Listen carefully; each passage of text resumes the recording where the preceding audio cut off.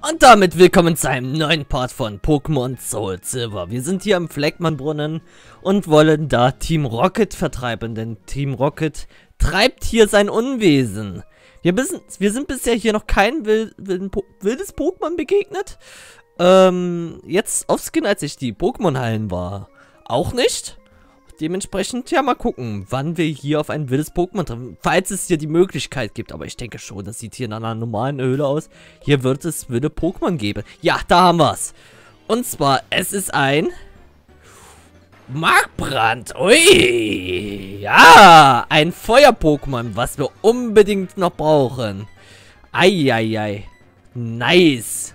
Ich habe auf Wasser, Pflanze oder Feuer gehofft. Und Feuer wurde es sehr nice. Jetzt müssen wir es nur noch irgendwie fangen. Und das müssen wir mal gucken, wie wir es am besten anstellen. Erstmal generell die Paralyse, ist ja klar. Hm, Donnerstag würde ich einmal mal machen. Geht leider daneben. Markbrand setzt nochmal Rauchwolke ein. Kannst du ruhig machen. Ich probiere es nochmal mit dem Donnerstock. Okay, jetzt treffe ich. Uh, das zieht ganz schön wenig ab. Ich habe mit mehr gerechnet. Alles klar. Uh, Johannes ist vergiftet. Na, klasse. Das ist natürlich sehr, sehr schlecht. Dementsprechend werde ich Johannes direkt auswechseln. Dann gehe ich mal zu... Wen gehe ich denn mal? Clearix? Ja, genau. Ich gehe mal zu Clearix. Clearix hat ja endlich mal eine Gesteinsattacke. Daher gucken wir mal, was wir mit Clearix so machen können. Markbrand, da wirkt die Paralyse. Das ist sehr, sehr gut. Und ich gehe auf Stampfer. Ich weiß nicht, ob äh, Markbrand, äh, uh, ja, er hat Flammenkörper, okay, egal. Er schreckt zurück, sehr, sehr schön. Okay, das ist sehr, sehr nice, dass er komplett im roten Bereich ist. Das war sehr knapp. Ich hätte vielleicht da eine andere Attacke einsetzen sollen, aber ich bin nochmal glücklich. Ich bin nochmal glücklich und ja, das ist ein einfaches Spiel jetzt. Allerdings flieht Markbrand aus dem Pokéball raus. Okay.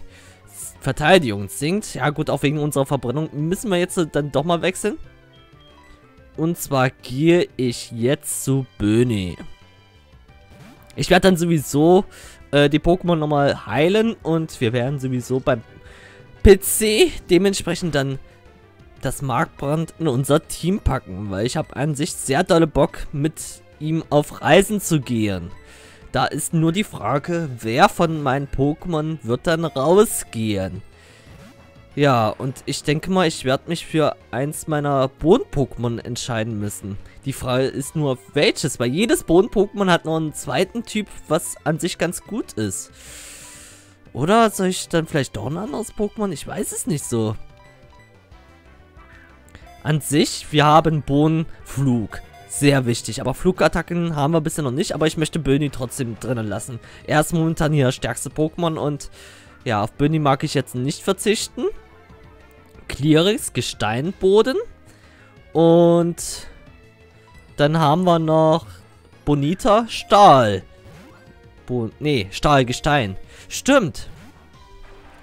Dann macht es am meisten Sinn, dass wir Clearix erstmal rauspacken auf die Backup-Box. Genau, das macht am meisten Sinn. Dieses Markbrand will einfach nicht im Pokéball bleiben. Ich habe noch zwei Superbälle, ich weiß. Aber ich versuche es erstmal mit normalen Pokébällen. Ich werde gleich mal, mal einen Superball äh, probieren. Mm, an sich, wenn wir es gefangen kriegen, dann wird... Dann wird Clearix rausgehen. Weil wir haben Gestein durch Bonita und wir haben Boden durch Böni.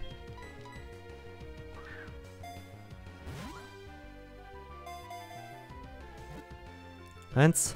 Ach, Mano, selbst der Superball will nicht. Ich kann es halt nicht noch weiter schwächen. Ich habe ja auch keine Attacke, die es einschläfert. Würde jetzt sowieso nicht mehr gehen. Oh, ich habe langsam ein bisschen Angst, dass wir es nicht gefangen kriegen. Eieiei. Noch mehr KP abziehen geht halt einfach auch nicht mehr.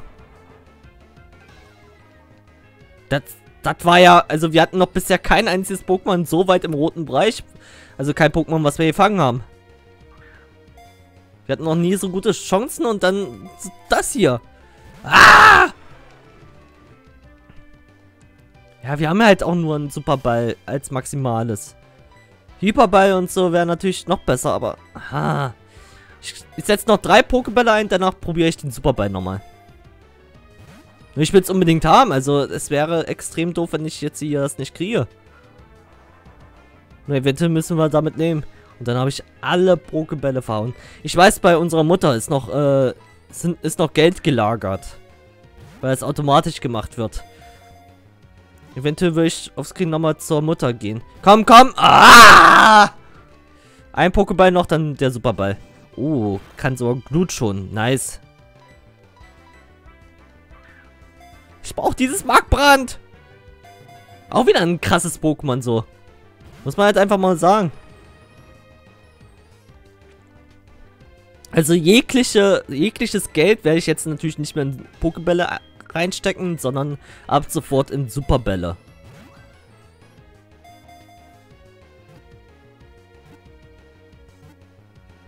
Danke, danke, danke, danke. Oh, nee. Mein Herz klopft schon die ganze Zeit so.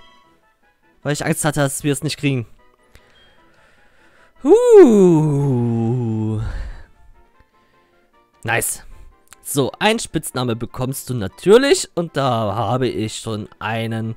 Und zwar der jetzt äh, noch nicht lange dabei ist, aber dafür sehr aktiv ist. Und zwar die Rede ist von Splatcast. Damit willkommen im Team. So, dann C und dann kommt direkt ein S. Das A wird da so gesehen verschluckt bei seinem Namen. Und da ist das T. Splatcast. Willkommen im Team. Ich mache einen Cut und wir sehen uns im Pokémon Center wieder. So sieht das übrigens aus, wenn, wir, wenn ein Pokémon vergiftet ist. Da gehen die KP nach und nach immer runter, wenn man sich nicht drum kümmert. Allerdings kann das Pokémon nicht sterben, wenn es bei 1 KP angekommen ist, ist dann die Vergiftung so weg ist halt trotzdem sehr gefährlich, daher, wenn wir, wenn irgendein Pokémon vergiftet ist, sofort Gegengift einsetzen oder zum Pokémon Center rennen. Andere Möglichkeiten gibt es da nicht für uns. Gut, dann gehen wir zum PC. Ist er jetzt mal in der Backup-Box gelandet? Genau. Darf ich ja jetzt rausnehmen, weil ich äh, das jetzt direkt danach mache. Würde ich jetzt ja noch weiter kämpfen in Fleckmann-Tunnel. Dann dürfte ich zum Beispiel Markbrand gar nicht mehr aus der Backup-Box rauspacken. Beziehungsweise, ja, könnte ich schon, aber dann müsste ich Cleric sterben lassen. Aber so ist das alles ganz gut möglich. Und damit, ja, kommt Splatcast ins Team rein und Clearix kommt erstmal auf die Backup-Box und kann sich da erstmal ein bisschen ausruhen. Auf welchem Level bist denn du? Du bist auf Level 7. Dementsprechend packe ich dich nach vorne, dass wir dich ein bisschen trainieren können. Allerdings werde ich bei Splatcast jetzt mal kein Offscreen-Training machen. Weil ich das Gefühl habe, dass wir an sich schon ganz gut insgesamt gelevelt sind und viele EP be bisher bekommen haben. So, wie sieht's denn so an sich aus? Smoke, Silberblick, Glut, Rauchwolke. Senkt die Genauigkeit senkt Verteidigung. Blut ist eine spezielle Feuerattacke. Spitzangriff ist von Splatcast sowieso größer. Sonst an sich wesenmäßig ist es neutral. Und Smoke äh, Stärke 20. Gut, da haben wir ja sowieso eine schöne Giftattacke bei Bernie. Okay, gut. Dann sehen wir uns im Fleckmann-Tunnel wieder. So, da sind wir wieder.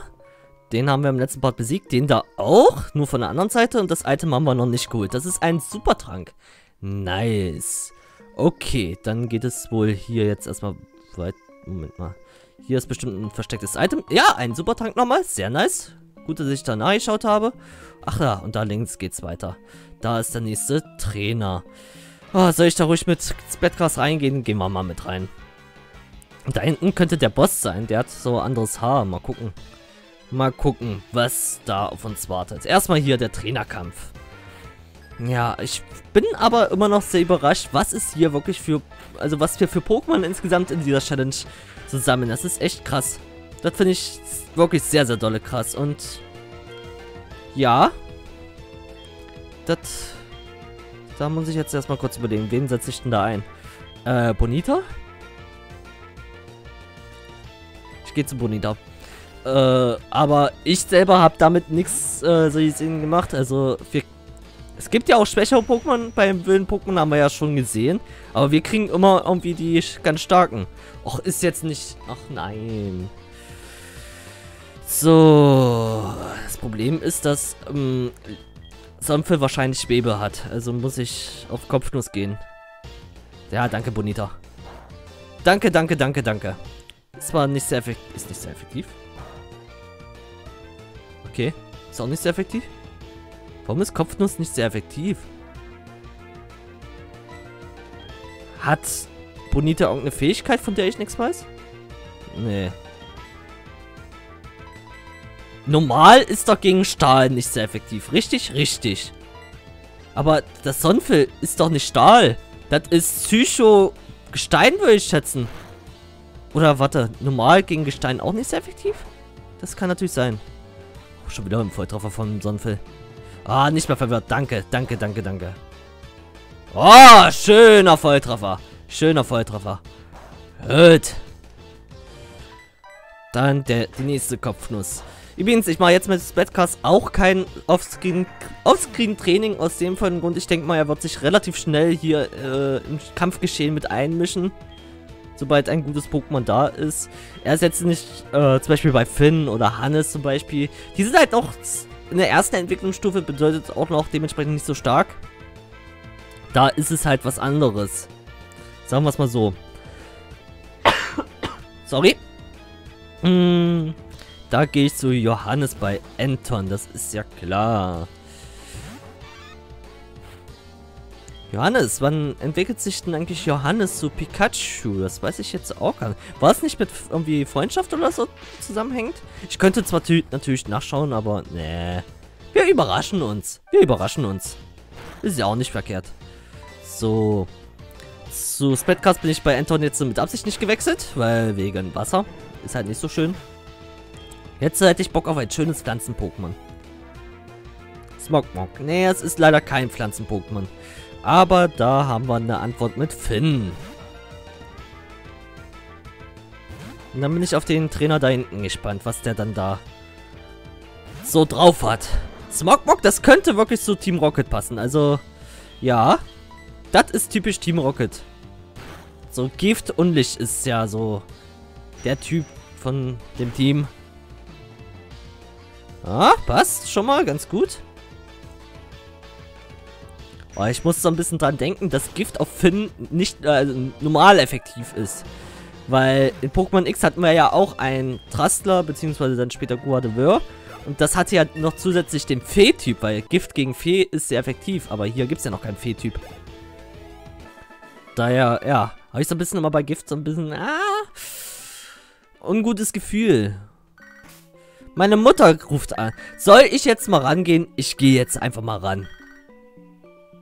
Hallo Dennis, wie geht's dir? Ich habe dich 20 Mal angerufen, warum gehst du nicht ran? Äh, ich habe heute beim Einkaufen ein nützliches Item gefunden, das dir von deinem Geld... Ist das dein Ernst, Muller? Okay. Äh, sobald wir hier aus, sobald wir hier aus dem Fleckmann-Tunnel raus sind, zack, zu meiner Mutter, mache ich, äh, mach ich einen Cut, laufe den ganzen Weg zur Mutter und dann wird sie was von mir erleben. Also mal als ehrlich. Ich brauche das Geld für Pokebälle. Okay, ganz ruhig, ganz ruhig. Wieder beruhigen. Ich muss erstmal gucken, äh, was haben wir hier? Wie sieht das Team aus? Ja, an sich ganz in Ordnung. So, was ist mit dir jetzt hier? Was willst du denn von mir? Bei Team Rocket fürchtet man äh, mich als ganz besonders grausamen Trainer. Ich werde nicht zulassen, dass du uns bei unserer Arbeit in die Quere kommst. Okay, meinetwegen. Lanz, Lawrence oder wie auch immer. Zwei Pokémon, ein Pfiffchen als erstes. Feuer und Licht, glaube ich, oder? Ich glaube ja. Ähm, dann würde ich mal schätzen, ich setze mal Rauchwolke. Ich versuch's mal jetzt mit Splatcast. Weil seine Feuerattacken sind sowieso nicht sehr effektiv und ja gut, und ich könnte halt noch ein bisschen gefährlich werden. Oh, Jaulas erhöht seinen Spezialangriff? Ne, normaler Angriff. So, dann ruhig nochmal Raufwolke, dann hat ist seine Verteidigung zweimal gesunken. Ja, wieder, äh, wieder eine Attacke, wo wir halt, ähm, ja, Genauigkeit senken können. Verfolgt uns in diesem Let's Play auch ganz schön. Aber sonst kann ich ja leider hier kaum was machen. Leider. Smog, ja, ist nicht stark und Blut ist nicht sehr effektiv. Daher lieber mal wechseln. Zu, zu, ja, Bonita kann ich wegen Feuer nicht äh, an, auswählen. Obwohl, Ich gehe trotzdem zu Bonita. Wo ist das ein Fehler? Ach, setzt E-Tackle ein, okay. ja, moin. Gut, dann die Lebensstelle. Wegen der Bohnenattacken. Attacke wollte ich halt zu Bononi Bonita. Weil dann sinkt die Genauigkeit noch weiter. Das ist sehr, sehr gut. Ja, ein Angriff kannst du ruhig weiter steigen. Ich habe nur Angst, dass es dann plötzlich so Feuerbiss oder so kommt. Gnu zum Beispiel ist ja speziell, das macht ja nichts. Aber er hat anscheinend nur Tackle gegen uns. Und greift. Er trifft zwar, aber immer noch nur ein KP Schaden. Ja gut, wenn, wenn, wenn normal gegen Gestein auch nicht sehr effektiv ist, dann ist das ja hier auf Bonita eine vierte Schwäche normale Attacken, oder? Ich glaube ja. Ich glaube ja. So, dann kriegt das Bonita nämlich gleich hin. Wunderbar. Und ein zweites Pokémon hat er nämlich auch noch. Bonita braucht unbedingt auch noch bessere Attacken. Kommt Zeit, kommt Rat und dies und jenes. Oh, es gibt ja nicht viele EP. Kukuna! Och, Spetcastle ist deins. Gefundenes Fressen. Gefundenes Fressen. Und das reicht dann auch für Level 8. Sehr schön. Auf Level 12. Level 7 Splatcast gegen Level 12 Kokuna. Wer wird gewinnen? Ich tippe auf Splatcast. Ah, schön. Ja, probier ruhig deinen Erdner. Wir greifen speziell an. Bringt dir also nichts. Aber gut, Kokuna kann eh nix. Da, hier hätte jetzt auch ein Legi sein können, also von daher. Da sind wir ganz gut jetzt durchgekommen. Das Kokuna bringt mehr EP als das Pfiffchen. Ernsthaft. Viel mehr EP. Okay. Besiegt haben wir dich. Ein Anteil wohl nach Hause geschickt. Ah. Ja, stimmt. Die haben Rocket wurde vor drei Jahren zerschlagen. Aber wir haben unsere Arbeit still und leise im Untergrund fortgesetzt. Du kannst uns vielleicht das Leben schwer machen. Aber aufhalten wirst du uns niemals. Alles, was du tun kannst, ist in Strecken auf das zu warten, was wir weiter im Schilde führen. Und sie sind weg. Gute Arbeit, Dennis. Die Typen von Team Rocket haben Reis ausgenommen. Meiner Hüfte geht es auch wieder besser. Lass uns gehen. Ich will zur Mutti. Und ihr verwehren, dass sie Geld für mich sammelt. Hallo Dennis, das war wirklich eine Glanzleistung. Ich habe es vorhin schon einmal gesagt, aber vor drei Jahren hat ein Junge namens Rot Team Rocket zerschlagen. Aber jetzt scheinen diese Widerlinge ein Comeback auf die Beine zu stellen. Das heißt nichts Gutes. Aber vergessen wir es für das erste Mal. Du gefällst mir, Dennis. Es wäre mir eine Ehre für einen Trainer wie dich, Bälle anfertigen zu dürfen. Hier, mehr habe ich leider gerade nicht da, aber ich hoffe, das hilft dir weiter. Ein Tor? Nice. Kann ich, ich kann jeden einzelnen Ball sehr gut gebrauchen. Oh, wie ich sehe, hast du ein paar Aprikokos mitgebracht. Na schön, dann mache ich mal eins verarbeiten. Ja, äh. Äh, warte, warte. Da ruhig beide. Ich sagte. Ah! Ist das doof gemacht. Zwei, so, und dann muss ich noch auf Ja. Ich brauche einen ganzen Tag, um die, diese Aprikokos zu verarbeiten. Komm also am besten morgen wieder. Ich habe eine Idee. Vielleicht hilfst du. Vielleicht. Willst du vielleicht die Telefonnummer von meinem Großvater? Hm, ist, denke ich mal, nicht so verkehrt, weil dann kann er uns anrufen, wenn es fertig ist. Erzählt er was über... Achso, dann erzählt... Ach, okay. Gut, meine lieben Freunde, dann mache ich jetzt hier einen Cut und ich begebe mich jetzt auf die lange Reise in Richtung Heimat zur Mutter, um mir Bescheid zu sagen, sie soll kein Geld mehr sammeln und ich will auch das Geld abholen. Weil, wie viel Geld haben wir momentan? Warte, das ist nicht im Beute, sondern äh, wo ist meine Trainerkarte? Da, oben rechts. Haben momentan 1920, das ist sehr, sehr wenig. Daher gucken wir mal, was, wie viel Geld bei der Mutter liegt. Ah, da bin ich, da bin ich. So, jetzt kann sie was erleben. Jetzt kann sie was erleben. Mutti, ich muss mit dir reden. Schön, dass du wieder da bist. So, ja, ist aufgeräumt. Ja, ist mir scheißegal. Ich bin wegen des Geldes hier. Auf, ja, 1940 hast du hier. So, mitnehmen. Alles mitnehmen. Alles. Kann ich hier einfach so zack, so Zack. Ach, ich muss die genaue Zahl eingeben. Ich muss... Ah, warte. Ah! 1, 9, 2, 0. So. Ja, ich denke da ganz... Ach, Mutter... Mutter... Mütter sind so schlimm manchmal. Ja, ich bin wegen des Geldes hier. Sparplan ändern. Nein, sollst du nicht. Ich dachte halt auch, das ist von standardmäßig so eingestellt. Ah, so. Und das Geld kann ich mehr als gut gebrauchen. Jetzt heißt es den ganzen Weg wieder. Äh, ja, zurück. Ja, die Stadt, wo wir gerade waren. So, da bin ich wieder. Ich war auch direkt mal die Pokémon heilen. Denn jetzt geht es für uns in die Pokémon-Liga. In die zweite Pokémon... Pokémon Arena. Nicht Liga. Ja, moin. Und mal gucken, was uns hier erwartet. Erstmal sprechen wir mit dir hier. Hallo, Herr Roswallow. Diese Arena wurde von Kai errichtet.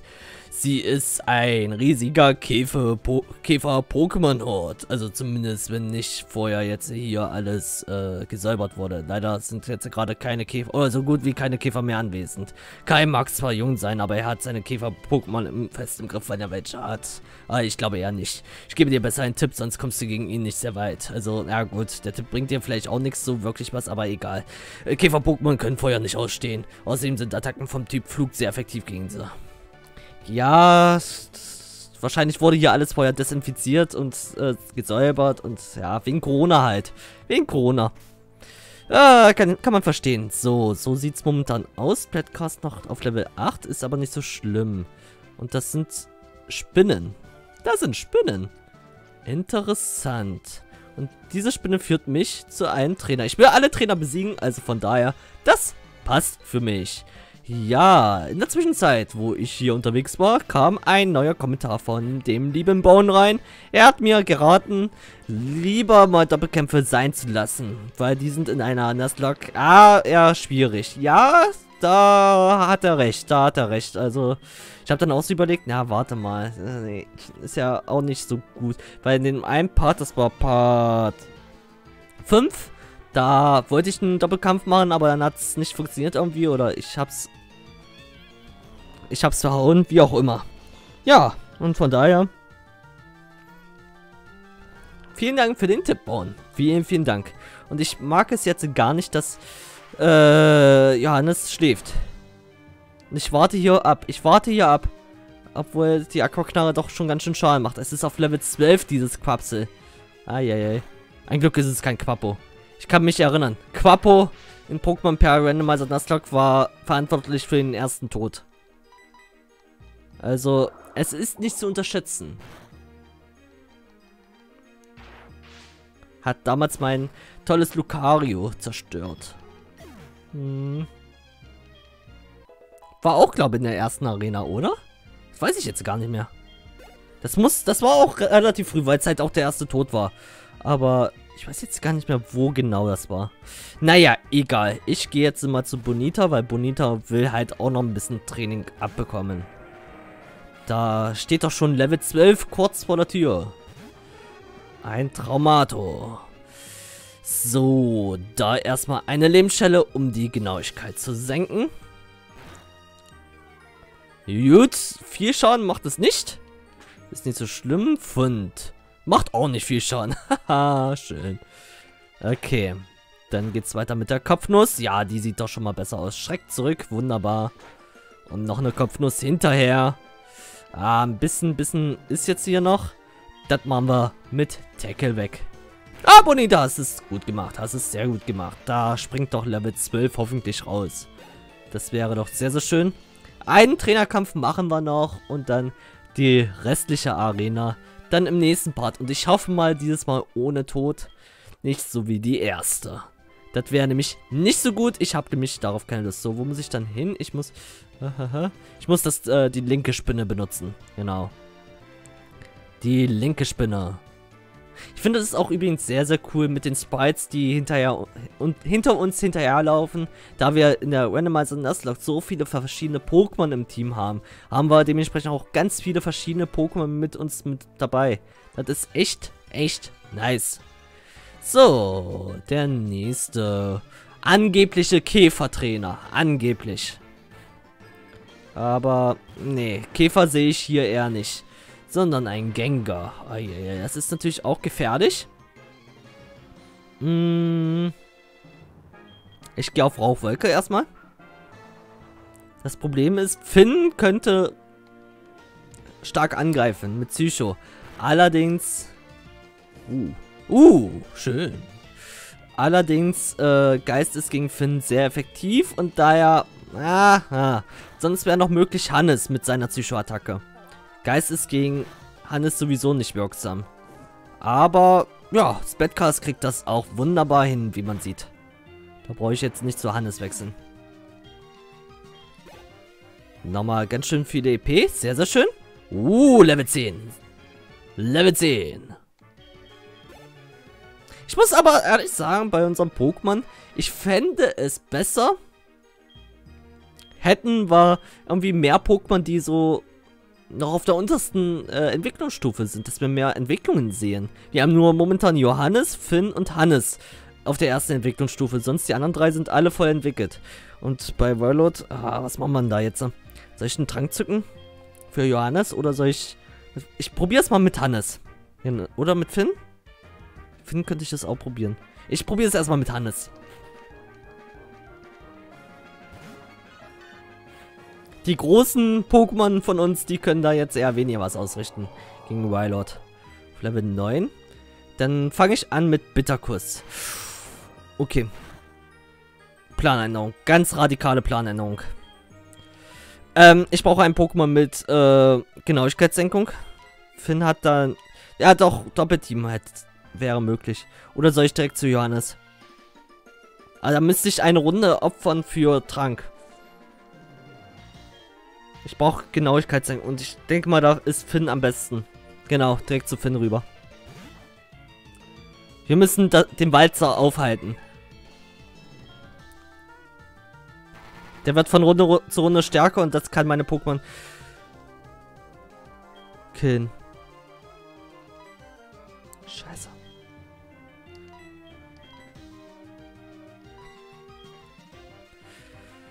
Er ist momentan im Walzer gefangen.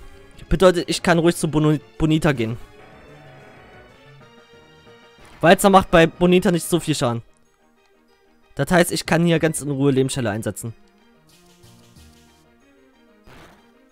Walzer ganz, ganz gefährlich in der Nuzlocke. Attacke geht daneben, sehr schön. Jetzt ist aber die Gefahr wegen einer schönen Wasserattacke. Aber, ja gut, da gehe ich wieder zu Hannes.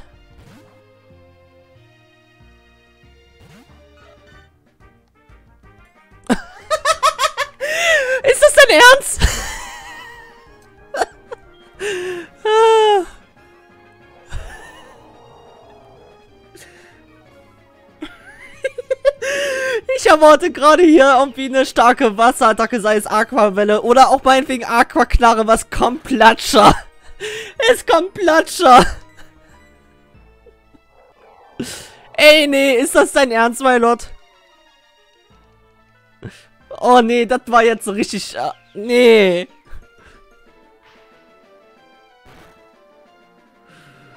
Okay, ein Hit noch. Okay, er macht wieder einen Walzer. Ist nicht so schlimm. Hannes kriegt es auf jeden Fall hin. Sehr, sehr schön. Aber ein Pokémon haben wir noch. Also noch nicht den Tag vorm Abend loben. Das eine Pokémon müssen wir noch besiegen. Aber es war trotzdem gerade sehr funny. Okay, ein Draschel. Uh, Typ Drache.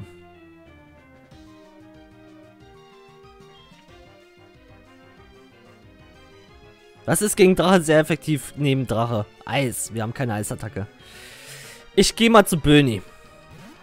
Böni war jetzt schon länger wieder nicht am Start.